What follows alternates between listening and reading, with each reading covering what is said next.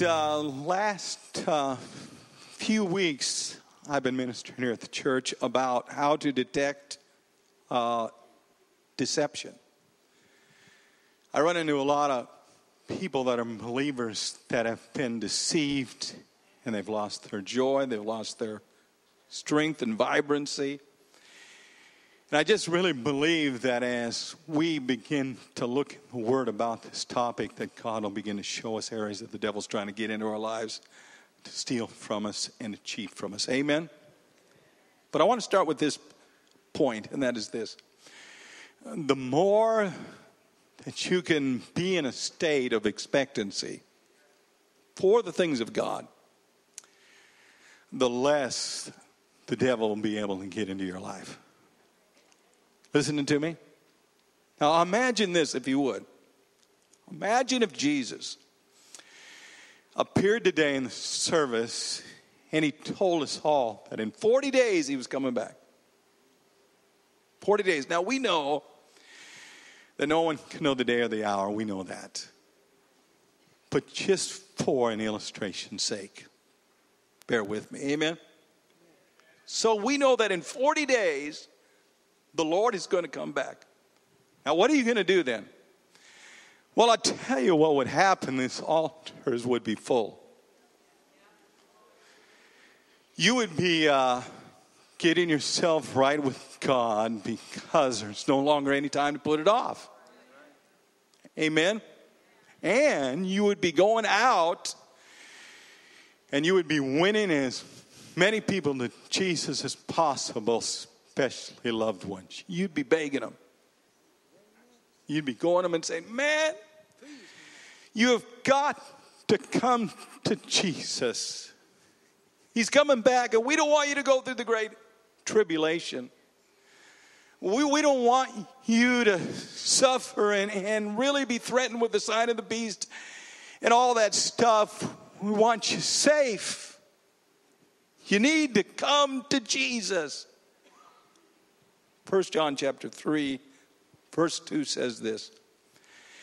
Says that if we have this hope, that that hope itself would purify us even as we are pure. In other words, when you are in that state of expecting God's word to be fulfilled in your life, man, you're, you're, you're, you're in your game, you're in your mode, you're in, your, you're in that place where, where, where deception doesn't have a foothold.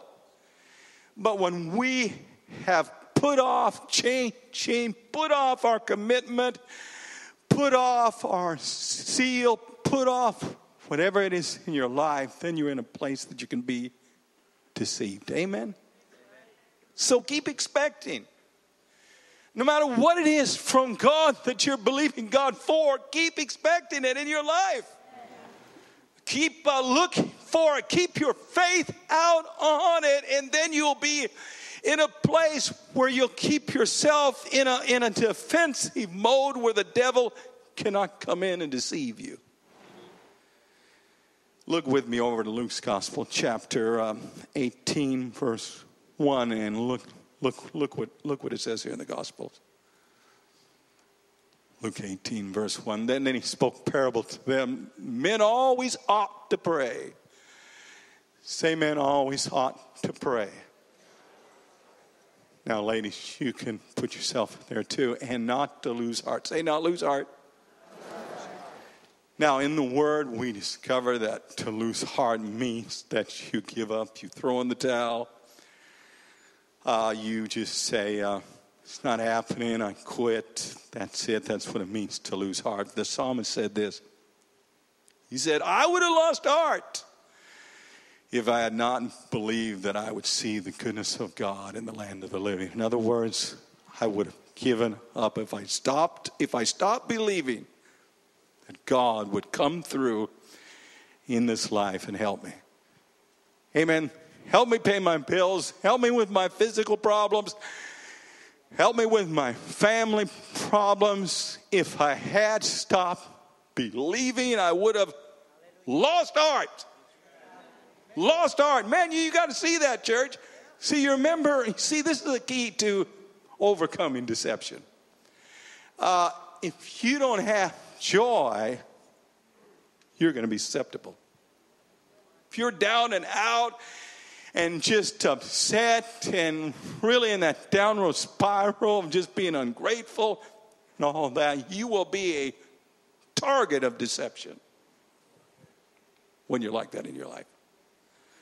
Um, let me say it to you in this way, and maybe this will help in a great way. Jesus said this the, the night before he, his death and resurrection. He told his disciples, said this. He said, In that day, talking about after the resurrection, he said, In that day, you will, whatever you ask in my name, I will do it for you. And he said that, that whatever you ask will be done in order that your joy would be made full. Now, in other words, as a believer, I got joy. Amen? But that joy is only made full when my prayers are being answered. Amen? Amen? So if we quit praying, we quit believing, if we quit seeking God, if we quit believing that God will come through in the way that He said He would come through, if we quit doing that in our lives, church, uh, we're going to lose heart and we're not going to have joy that is made full in our lives. We need to live in a state where God is continually bringing prayer to pass in our lives and our joy is being made full. And the more full it is, the less the devil can get in because the more happy you are, the more thankful you are, the more excited you are. Come on, and deception can't get in when your joy is being made full. Hallelujah. But you may have been in church that said, wow, God doesn't always do, do what you want him to do in the Word. Sometimes he says yes, sometimes he says no, and sometimes he says wait. Church, the Bible's clear that when we pray according to his will, that it is yes and amen in Christ. It's not yes and no. It is yes and amen. amen. Come on, yes and amen. Let it be so. It is our right to believe and expect that God would come through and answer our prayers, that our joy would be made full, that we would not give up, but we would persevere and we would seek God and we'd say, God, no matter what, I'm going to praise you and thank you, Lord, for what is coming in my life. And then when it comes, our joy is made full and we're full of even more thankfulness than what we already have in our lives. We're just so thankful. Amen. Hallelujah, church. See, they didn't, they, they, they replaced that part of their walk that was irreplaceable. They replaced it with probably good things, but you can't live with God without knowing Him personally. Hallelujah. Said hallelujah, church. Now, it says that if you do this, if you repent, I will give you access into the tree of life, which is in the midst of the garden. Wow. The word there for overcome, it is a present active participle, which means it is a continual action. If you now continually make God the center of your source of life and seek Him and get His is inside on your life, then I'm going to give you access to the tree of life, which is in the midst of the garden. And the tree of life is represented in Scripture in Proverbs as wisdom, number one. Proverbs 3 16. And that wisdom will give you long life and it will extend the length, or and it also will give you wealth and honor. Hallelujah. Plus, tree of life is the ability to lead people to Jesus. Hallelujah. It's also in Proverbs.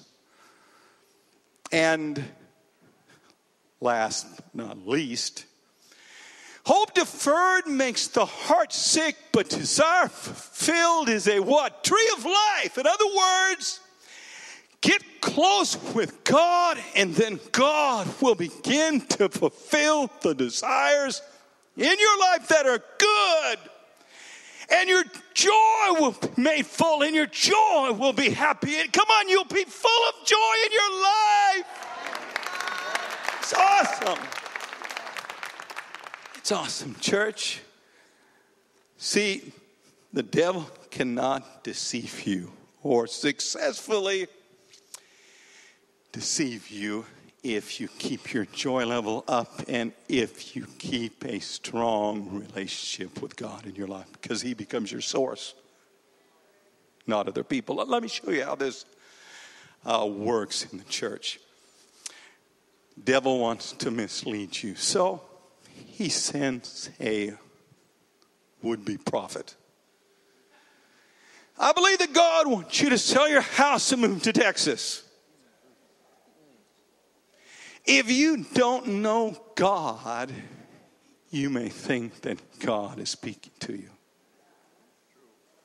And you'll sell your house and you'll move and go, Whoa, how come God's not blessing me now? What's wrong? See? See, see, you were honest, but you were deceived because did not rely on your relationship with God. He did not say, Lord, here's what the man of God said, but is it of you? Is it of you? Is it really what you want me to do in my life? Hallelujah. And if the Lord hmm, bears witness in your heart it's right, then do it. But if you don't have that relationship, and you let everyone else determine what God's will is in your life, you're going to run into trouble. Big trouble. Amen? All right. For those references, Proverbs 3, verse 16 and 18, Proverbs 13 and 12, and uh, Proverbs 11 and 30. Now, let me begin to wind this message down a little bit today. Said a little bit. I'm on the approach to the runway, but it's still a little ways off, okay? I'm on the approach. Uh, when you play tennis with someone, when you do it, you don't start out hitting the ball and going for the score. What you do is you volley for a while. You knock the ball back and forth, and uh, you begin to learn uh, what your opponent does, his weaknesses and his strengths when you volley.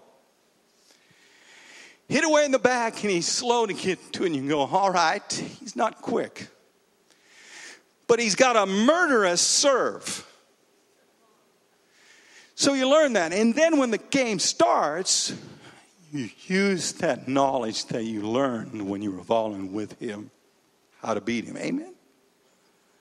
See, here's what the devil will do in our lives he, he will take our weaknesses and our strengths, and he'll use them as an opportunity to defeat us. You know what I'm talking about but when I say that? In other words, let's say this Jesus said this Jesus said, You need to love me more than in human relationship in your life. Isn't that what the Lord said?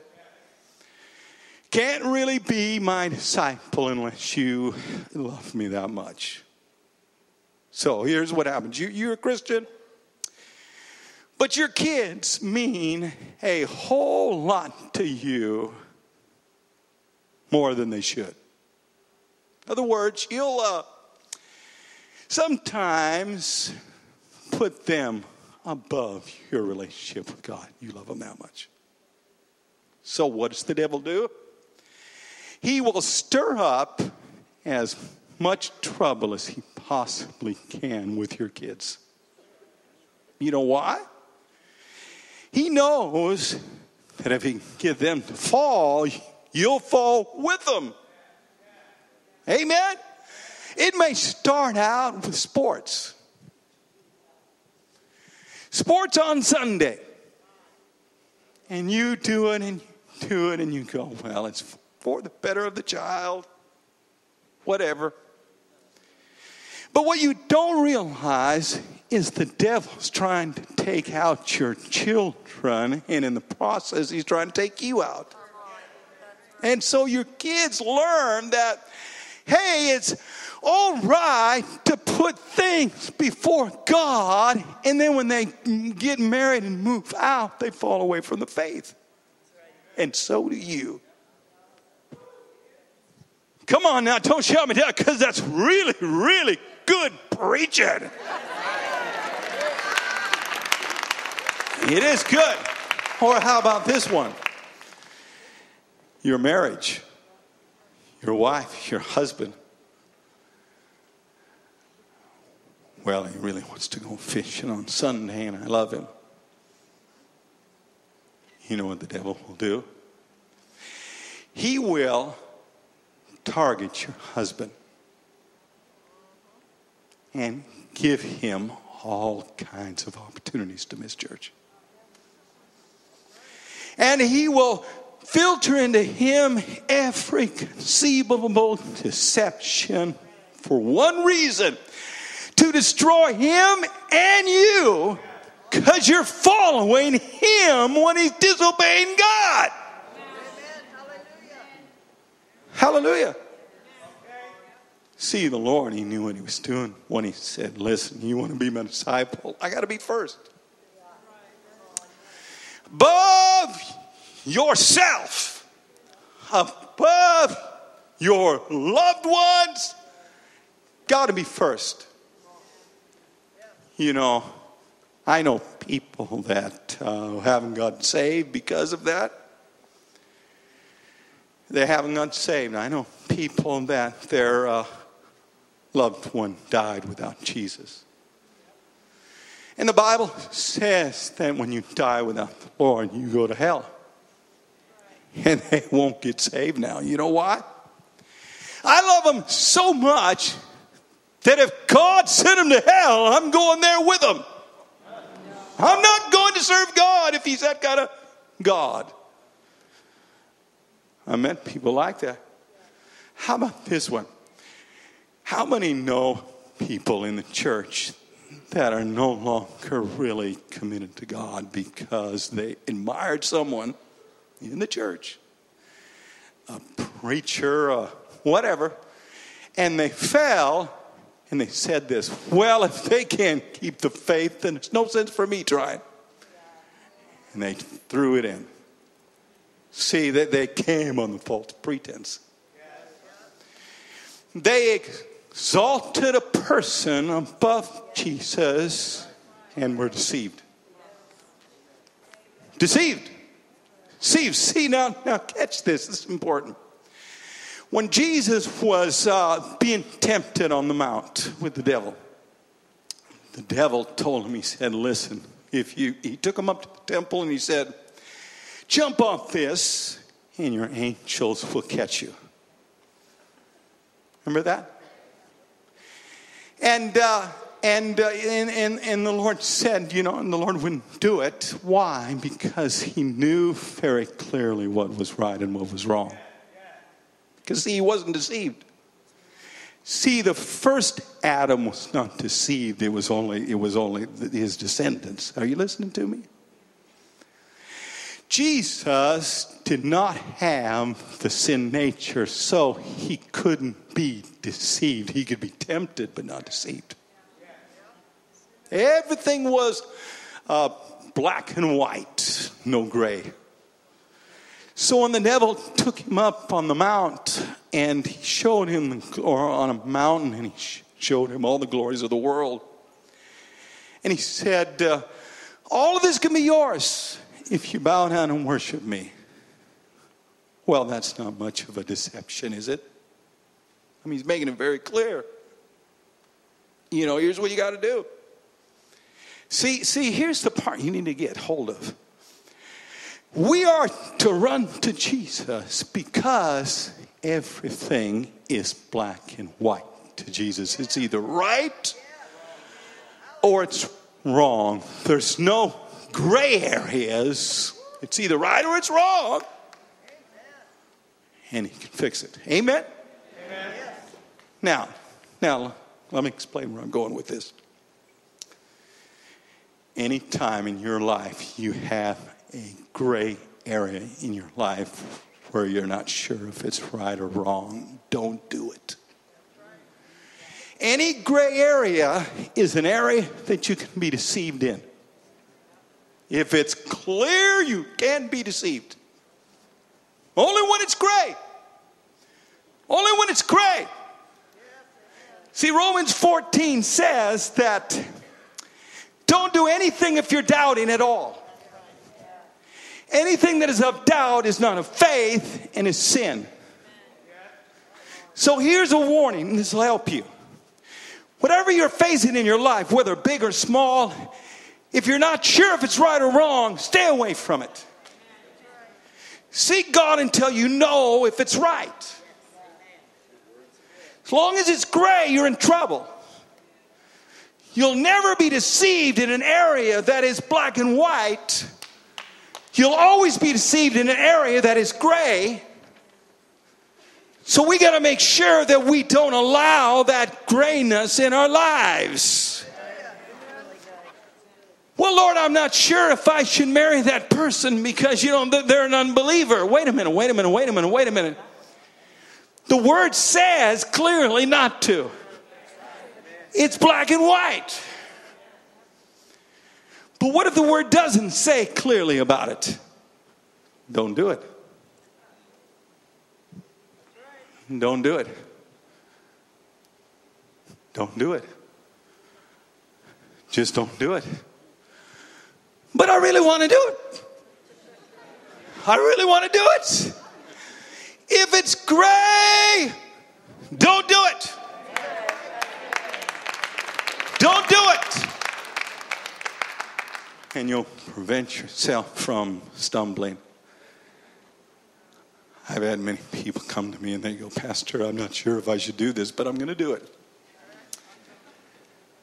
Say, listen, if you're not sure, wait until you are sure. And if you don't get sure, then don't do it. It works that way. Amen. See, church, please listen to me when I say this. You are called to win in life. You can't win in life if you're deceived. You can't win in life because the devil will trick you. He'll trick you out of your blessing. He'll take you from the people that God wants you to be with to the people that God doesn't want you to be with. He will deceive you.